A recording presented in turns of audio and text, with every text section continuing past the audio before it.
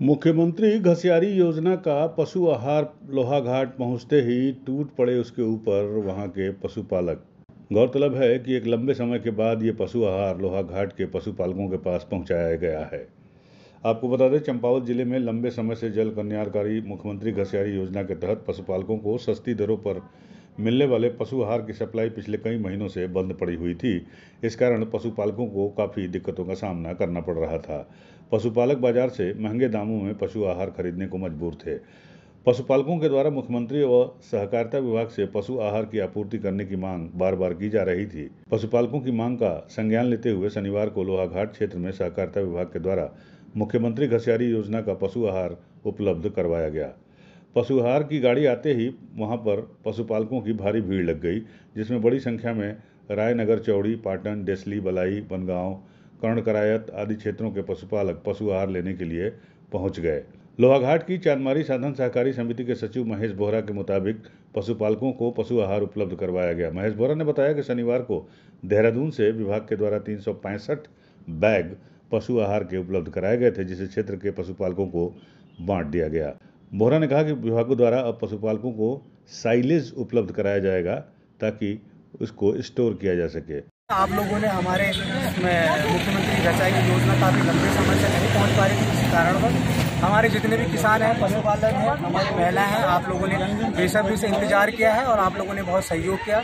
हमें भी व्यक्तिगत रूप मुझे भी सहयोग किया है और विभाग के माध्यम से भी आप लोगों को समय समय पर जो आश्वासन दिया गया था, बड़े लंबे समय बाद गाड़ी आई है।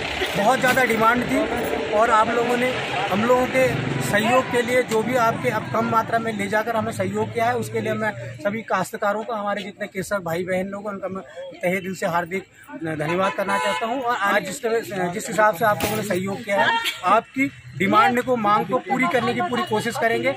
पशुपालकों के द्वारा मुख्यमंत्री और सहकारिता विभाग को धन्यवाद दिया गया और कहा कि लोहाघाट क्षेत्र में बड़ी मात्रा में लोग पशुपालन करते हैं और उनकी आजीविका का मुख्य आधार पशुपालन ही है। इन लोगों ने मुख्यमंत्री व विभाग से क्षेत्र की सभी सहकारी समितियों में सरकार के द्वारा चलाई जा रही मुख्यमंत्री घसियारी योजना के तहत लगातार साइलेज उपलब्ध कराने की मांग की है ताकि क्षेत्र के पशुपालकों को इस योजना का लाभ मिलता रहे और उनके जानवर सुरक्षित रहें। पशु आहार को लेकर आपको बता दें, पशुपालकों में ज़बरदस्त अफरा तफरी का माहौल रहा। मुख्यमंत्री तक ये बात पहुंचनी चाहिए, जो घसियारी योजना उन्होंने लागू कर रखी है। उसका सब जनता तक बराबर जो लगातार अगर गाड़ी आती रहेगी तो पूर्ति हो जाएगी। अब बहुत समय बाद ये गाड़ी आई है तो इसलिए यहाँ तक अभी खपत कम हो रही है तो पहुँच नहीं रहा है तो यहाँ पब्लिक काश्तकार परेशान है। तो हम ये निवेदन करना चाहेंगे जितने भी काश्तकार लोग हैं कि सब लोग की इसमें पर डे जो दो गाड़ी इनकी दो समितियाँ हैं उसमें कंटिन्यू दो, दो गाड़ियाँ रोज आनी चाहिए। कहना चाहेंगे कि सरकार से ज़्यादा से ज़्यादा यहाँ पे ये पशु आहार भेजा जाए। क्योंकि देख ही रहे हो आप ये सामने ही है आपके सामने है कितनी भीड़ हो रही है। बहुत दूर दूर से कई दूर दूर से लोग आए हुए हैं। और सुबह आठ बजे से कई कई दूर कई मशक्कत के बाद बड़ी मुश्किल से पाँच पाँच कट्टे एक आदमी को मिल रहा है।